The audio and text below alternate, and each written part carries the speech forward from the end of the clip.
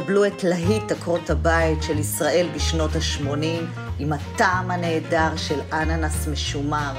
מכינה תחתית על פי חוקי הז'אנר, משטחת, 10-12 דקות בתנור, מי שרוצה מאשרת לו לטחון ביסקוויטים. פודינג וניל, שמנת מתוקה מקציפה ומזרזפת באיטיות חלב, אני רוצה שהקצף יהיה יציב ככה.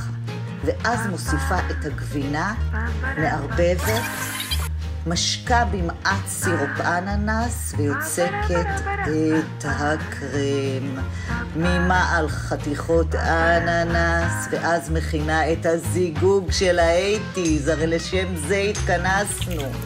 קורנפלור, הסירופ של האננס המשומר, מסמיכה עד שאני רואה בועיות לבה, מצננת מעט, יוצקת, משגרת, מקררת, יש לנו ארץ נהדרת, חג עצמאות שמח, ביי.